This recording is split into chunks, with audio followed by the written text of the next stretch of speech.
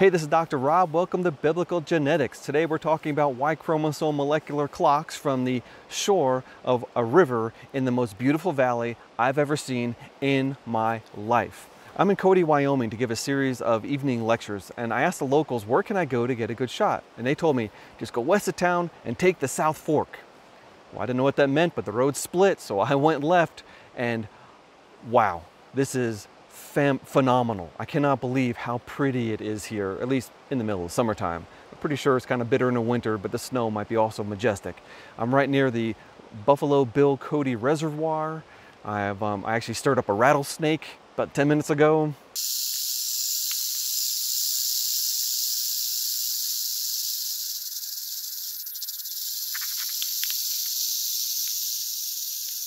There are bear warning signs everywhere. This is uh, settled country, but there's still a lot of nature to, uh, to experience.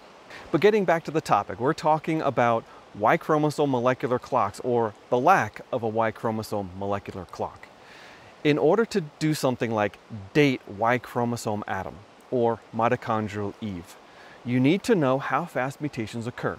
Because you can look at all the people in the world, you can see how far apart they are. The next question is, how long does it take to build up all those mutations?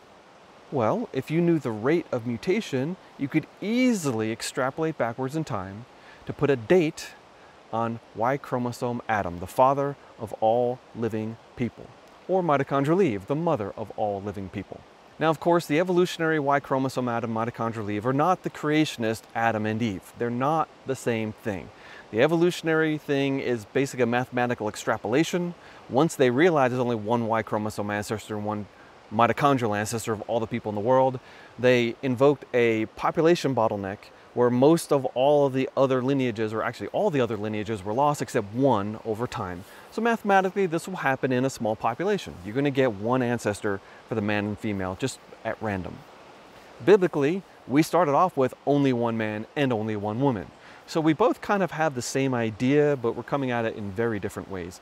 And it would be really nice if we knew how fast mutations occur so that we could figure out how long ago those two individuals lived. The evolutionary timing for Y chromosome Adam, it depends on who you're talking to and it depends on what's, uh, what year you're talking about because the, the number's been revised a lot. Somewhere between 100,000 and 200,000 years ago, depending upon mutation rate and which branches you're talking about, there was actually a discovery of a brand new uh, Y chromosome branch from Africa. Um, they named them A00. That's like a, the double root of the human Y chromosome tree. And that one discovery doubled the time to Y chromosome Adam. They used to say, oh, you dumb creationists, Y chromosome Adam and mitochondrial Eve didn't even live at the same time. They're tens of thousands, if not 100,000 years apart. But that one discovery actually put them in about the same ballpark. Now, I don't hold to that. I don't care what they say the timing is because I don't agree with it. But it's just interesting to note that the timing is very much dependent upon what we know about the tree and what branches are on the tree. And if you find a really long branch with a really deep root, well, then you have to back the time up to when that ancestor may have lived. One of the big problems we have when trying to figure out how long ago Adam and Eve lived is we don't actually know the mutation rate we can measure families and we can measure different people. We know how far apart they are as, as far as the number of generations is concerned. And we can say, okay, this many generations equals this many mutations. Except the machines that we use to sequence DNA have an error rate. And the error rate is about the same as the mutation rate we expect to see. So in order to get a mutation rate, you have to use very highly filtered data. And as scientists are filtering the data and doing quality control steps and removing spurious results, um, they're probably removing real mutations. It's just, how do you know? And so they try to shy away from what I call the genealogical rate. That is, take two people that are closely related, measure up the differences between them, and then you can calculate a rate based on that. But the data just aren't accurate enough to do that. So there are other ways to approach this. One method is what I call the phylogenetic rate take two species, find some DNA they have in common, count up the number of differences between those two pieces of DNA, and then divide by the time since their most recent common ancestor. So generally talking millions of years and a finite number of differences, we'll divide that small number by millions and you get a very slow mutation rate. Another method is what I call the historical rate. And this is what's been used to date Y chromosome Adam. what they will do is they'll look at the family tree and they'll find a, a split point that points to a known historical event. So the most important papers for the Y chromosome, and the papers that were studying the data that got used for the Y chromosomes in the Thousand Genomes Project, they said that the peopling of the Americas is a, I quote, sanity check, unquote, as far as the rate is concerned.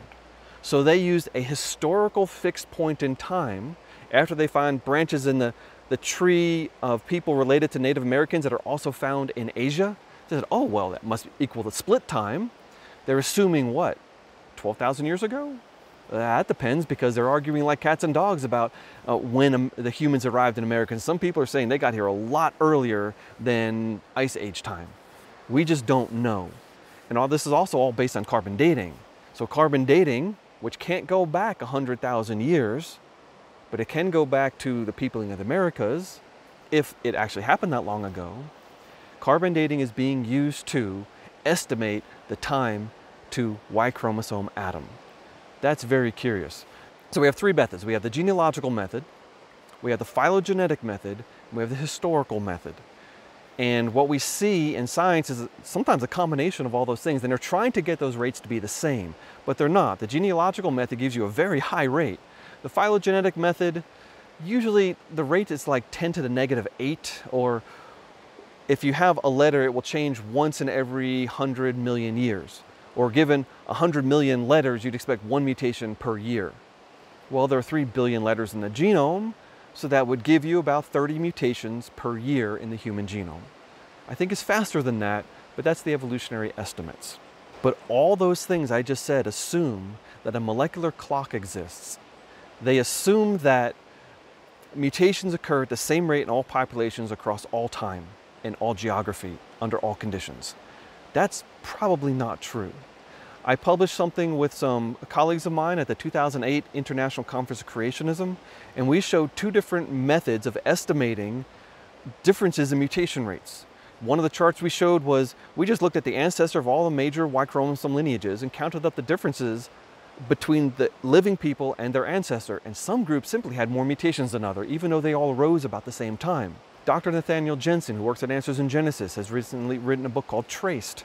And in that book, he specifically says that some of the Y chromosome lineages have a higher mutation rate. So he and I are saying the same thing, but there is an aspect of political correctness here that's very delicate because some of the longest branches on the Y tree are African, and you cannot say Africans are more mutant than non-Africans. That's not politically correct. You just simply can't say it. But there are a couple of workarounds here because it's not true that Africans are more mutant than others. Everyone is mutant in different ways. Let me explain. First, the Neanderthals were an incredibly mutant population. There are diseases, genetic diseases that occur in modern people today that have been traced back to Neanderthals. Africans have hardly any Neanderthal DNA. I have up to about 3%, depending on which estimate you're looking at, but about 3% Neanderthal DNA. So I and my fellow non-Africans have an additional mutation burden that Africans don't have. Everyone in the world is suffering under the curse. We're all mutant, we're all falling apart. Genetic entropy is still at play in all human genomes, just some people are a little different than others. And when we're talking about some branches being longer or more mutant than others, you're talking about a very tiny fraction of the 60 million letter long Y chromosome. Then you throw in the non-African contribution of Neanderthals, and then you add a brand new paper by Ding et al. They were studying the Y chromosome data in the Thousand Genomes Project and the Human Genome Diversity Project, and they saw that different groups of people have different numbers of mutations. And they drew a tree very similar to some trees that I've drawn. And they had charts very similar to Nathaniel Jeanson's and my charts that show that some groups are more mutant than others. So he's coming from an evolutionary perspective now. They're saying the same thing. But they also noticed non-Africans also can have a higher mutation load. Specifically in their tree, group G, which is associated with Central Asia and the Caucasus. Interesting, that's where we get the phrase Caucasian from, which is that horribly racist idea of the past that there were three main races, the Negroid, the Mongoloid, and the Caucasoid. Well, forget that, that's not true, but we get the word Caucasoid from the Caucasus, and haplogroup G, which is very common there, is more mutant than average. Also group C, Genghis Khan, I think was a, belongs to group C. Group C is common in Central Asia and the Northern Americas associated with the Inuit population. And Group D also is associated with Central Asia. But if you look at groups D and C on their tree and my tree, you will see that some of the internal branches themselves have different branch lengths.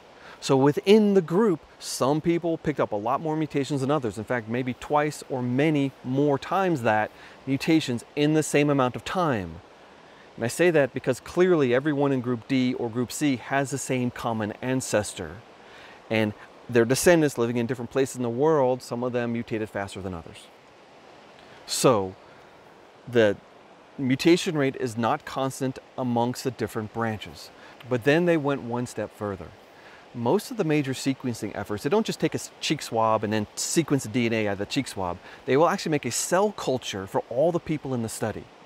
And so they can grow these cells, grow a massive amount of DNA, then anyone who wants the DNA can either ask for a frozen sample or a living sample of the cells or a giant DNA extract from the cells. And you can do that. But what Ding et al. did was they looked at the raw sequencing data, not the assembled Y chromosome data, but the raw sequences that were pulled from these, um, these cell cultures. And they showed that there's a higher rate of error in the Y chromosome families that have longer branch lengths on the tree.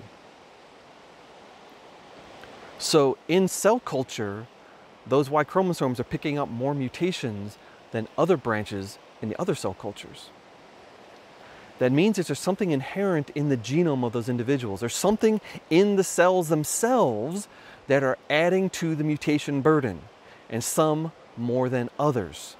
Oh, that's very interesting. That means that there is no molecular clock for Y chromosomes. That means you cannot simply look at the difference between two individuals and count up the differences and know how much time has elapsed. It means that mutation rates differ according to the genetics of the population. Probably not the genetics of the environment, because we're talking about cell culture here, not people living in you know, Central Africa versus Siberia. And it's probably not due to experimental error, because these is two different studies, the human, uh, the Thousand Genomes Project and the Human Genome Diversity Project. Different authors, different techniques, different laboratories. It would be really hard to say, well, all the samples you collected in this city in Africa have a high error rate because you made this mistake in your techniques when you have a different study using different techniques in different places coming up with the same answer. So in the end, we don't know how long ago Y chromosome Adam lived and you cannot tell from the genetic data. But if you look at the genealogical rate, it's like one to three mutations per generation. Now Nathaniel Jeanson helped tremendously by coming up with that number and he searched and searched and searched through the the supplemental material of several papers where they're actually going through their techniques of stripping out the data and getting rid of a lot of the mutations. And in his work he showed, yeah, one mutation is accepted by a lot of people, but it's probably three. And if you have one to three mutations per generation, sometimes one, sometimes 10, because we now know the rate can be variable. But at that rate, it would take only a few thousand years for all the people in the world to trace back to Y chromosome Adam. Well, that's it for today. I just wanted to give you a little tidbit of some new information coming out that's directly challenging evolutionary estimates of time. If you want to learn more, I'm going to have an article on this appear uh, on creation.com very soon, but I jumped the gun and I filmed this video before the article appeared just because I'm so excited about it. I wanted you to hear about it here first. There's more information on biblicalgenetics.com or go to my employer's website, creation.com. You can find a lot of things here on evolution, about timing, molecular clocks, genetic entropy, all those topics are covered on our website. If you'd like to help support biblical genetics, I have two ways to do that. One is through patreon.com. Those are my long-term supporters, uh, monthly, and buymeacoffee.com. Most of the people there are just one-off donors. Some people donating regularly, but it's really there just for you know, $3, $6, $9. Hey Carter, buy yourself a coffee. Here's a little tip. Thanks for your work. Be blessed, my friends. Trust the Bible. It is believable, it is true, and science supports Scripture.